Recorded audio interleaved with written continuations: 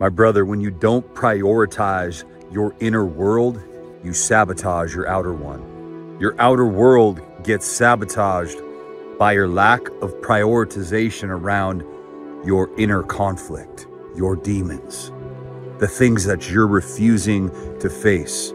Because personal well being enhances professional performance. We know this as high achievers, as entrepreneurs, as men who make things happen. If we're not prioritizing our inner world, if we're not handling, right, if we're emotionally procrastinating, if your inner world is like a stack of mail that's just piling up, that you're not tending to, that you're not dealing with, that is a form of self neglect.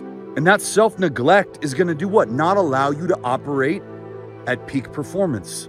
And so you're going to be in a constant state of just trying to fix issues all the time.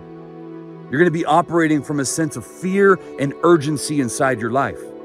Dissociation, denial, evasion, escaping. When we do that, we have vices and self destructive behaviors.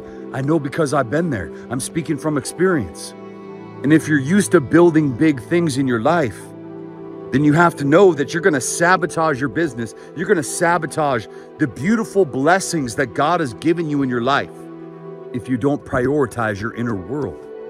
What kind of message do we send ourselves when we don't prioritize our inner world, bro? You know what the message is? That I don't matter, that you don't matter. You know, my question for you is who sent you that message? Where did you receive that message? Where did you internalize that message that you don't matter? Because the more that you show yourself that you don't matter, the more that other people begin to treat you in accordance with the way you treat yourself. We get upset all the time, like people don't respect my boundaries, when sometimes we don't respect our own. Victimhood can become very comfortable when it's all you're used to.